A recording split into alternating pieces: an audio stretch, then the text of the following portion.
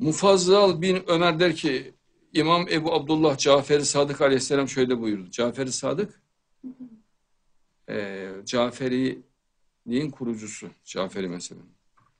Caferilik nasıl? Ne? Kaynağı ne? Resulullah. Hangi mezhepler çıkmış? Hanefi, Hanbeli, Maliki, Şafi ve Şia. Hepsi Caferilikten çıkmıştır. Hepsinin imamı İmam Cafer-i Sadık'tır. Mehdi halkın en şirretleri olduğunda bak en şirret, en ahlaksız var ya sokakta kepaze çıkarıyor, pislik yapıyor, haysiyetsizlik yapıyor, e, kitap yakmaya kalkıyor, köpekleşiyor, havlıyor, bağırıyor, çağırıyor. Yani bazı kişiler için söylüyorum bunu tabii. Benim bildiğim bazı kişiler için. Ve halkın en şirretleri olduğunda Mehdi zuhur edecektir. Şeyh Muhammed bin İbrahim Numane Gaybet-i sayfa 187. Bak en şiddetler olduğunda çıkıyor.